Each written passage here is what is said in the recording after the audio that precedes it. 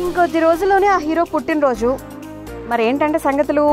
Mobile masala వారి film Nagar కబుర్లలో మనం మాట్లాడుకోవాల్సింది సాయంత్రం తేజ్ గురించి. డైరెక్టర్ సంపత్ నంది ఒక మాస్ యాక్షన్ సినిమా కోసం చేతులు కలిపారు వీళ్ళిద్దరూ కూడా ఇప్పటికే. దానికి సంబంధించినటువంటి ప్రీ ప్రొడక్షన్ వర్క్స్ అన్ని కూడా స్టార్ట్ అయిపోయాయి.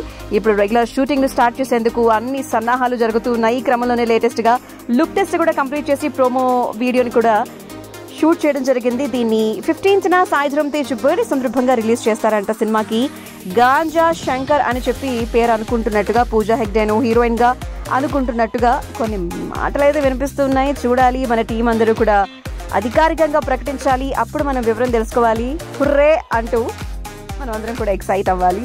సో ఈగర్లీ వెయిటింగ్ సాయంత్రం తేజ్ గారి బర్త్డే రోజున మనం వినబోతున్నటువంటి బర్త్డే స్పెషల్ గుడ్ న్యూస్ ఏమై ఉంటుందా అని చెప్పి అండ్ ఆయన ఎప్పుడు హ్యాపీగా హెల్తీగా ఉండాలని కోరుకుంటూ ముందుగానే మొబైల్ మసాలా వారి తరపున స్పెషల్ విషెస్ని ని తేజ్కి తేజ్ అందించేద్దాం.